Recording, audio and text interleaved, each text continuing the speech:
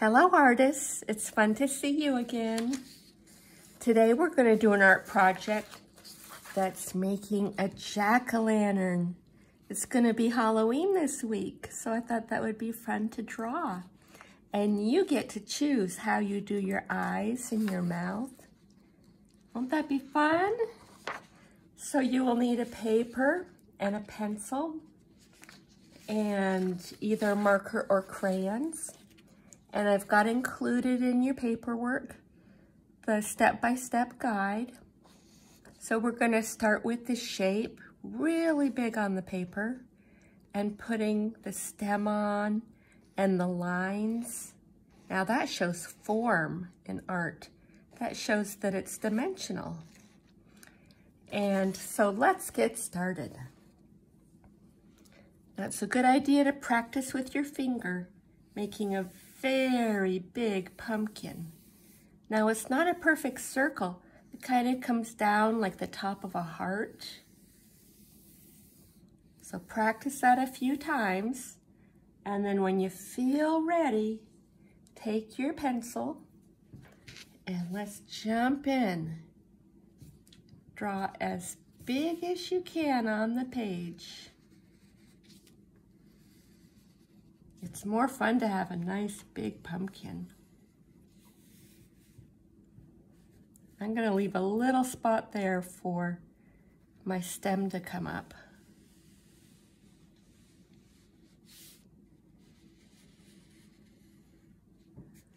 Did you make it so big? Excellent. Now I'm going to put the stem in. I'm going to kind of curve it to the side.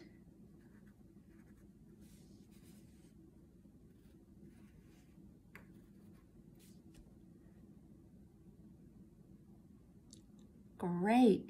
Now our lines that show the curves on it kind of reminds me of the lines on a basketball or the lines on a beach ball. They curve around. On the left side, they curve like a letter C.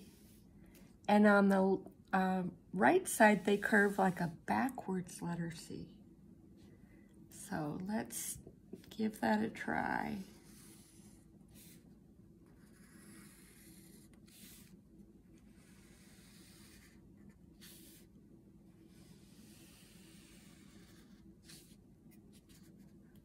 that out for you? Curves this way on the left and this way on the right.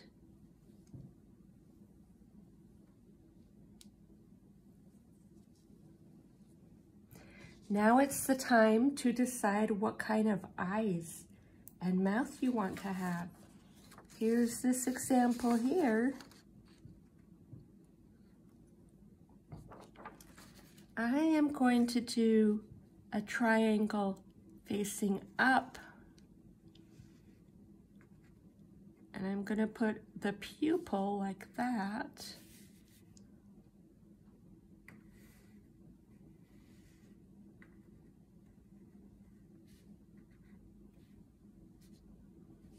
I'm going to do a nose that's an upside down triangle. And then I'm gonna do a mouth that has a few teeth.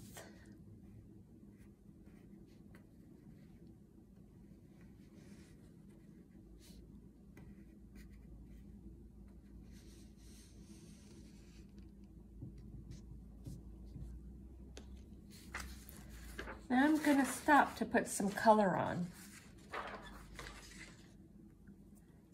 And I'm gonna do black inside of the eyes. I'm going to use marker. You could also use crayons.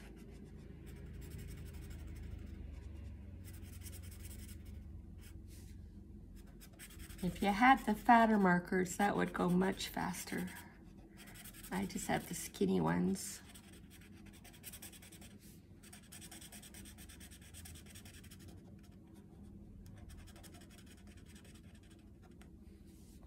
And also inside of the nose and the mouth. That's the part that you carve out and take out all the seeds. So it makes a shadow inside. And do you ever put a candle inside your pumpkins? Put them on the front porch? That's fun to do.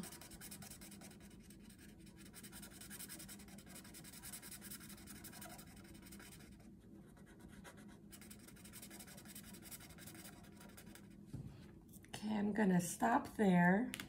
I'm gonna move on to the pumpkin. I'm gonna even curve my line as I color in.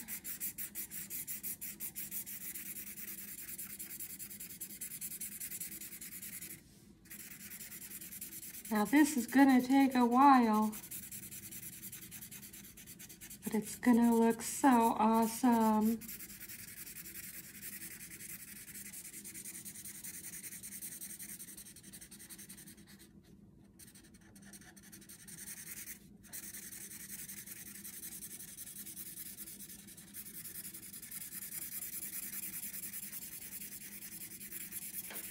I bet a lot of you have some pumpkins that you have been carving and putting out to decorate your house inside or out.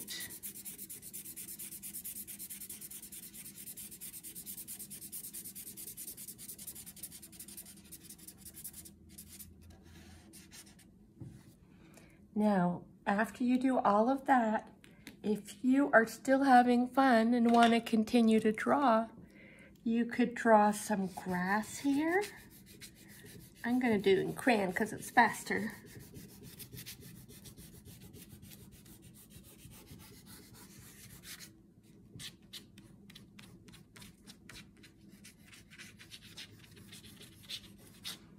And some grass, I mean some sky. And if you would like, you could add a cloud and a moon.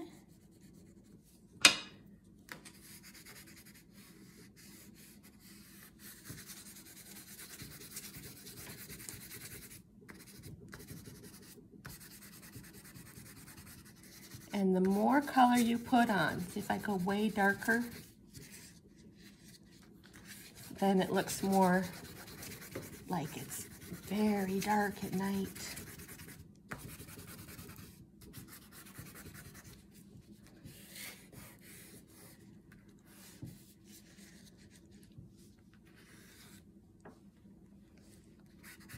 Oh, we need to do our stem, don't we? Get in a green stem here.